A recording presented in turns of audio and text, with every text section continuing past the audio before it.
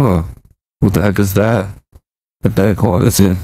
Uh, boss? Yeah, Chris, what do you have to report? Yeah, I was doing my rounds and my family was looks like an old endoskeleton. It looks like it's been disassembled and assembled multiple times.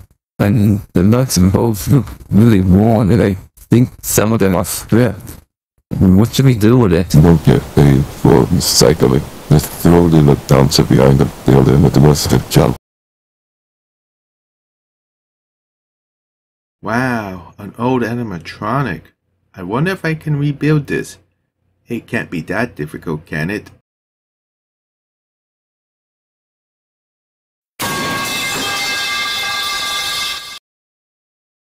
I get the feeling I might have bitten off more than I can chew. But nothing ventured, nothing gained. Let's get to it.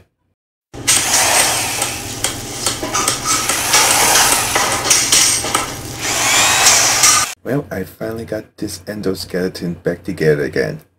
Now I just need to decide what should it look like. Maybe I'll get some inspiration from the glam Glamrock animatronics.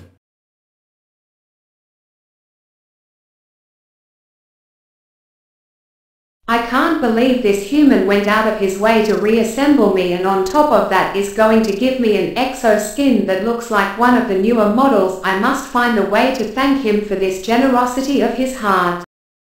Oh, he's coming back. I better pretend I'm still deactivated. I don't want to scare Well, him. time to get this job finished.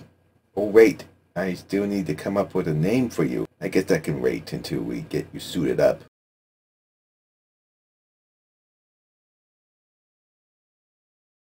Just a few more tweaks and we'll be ready to test. Almost there. And here we go.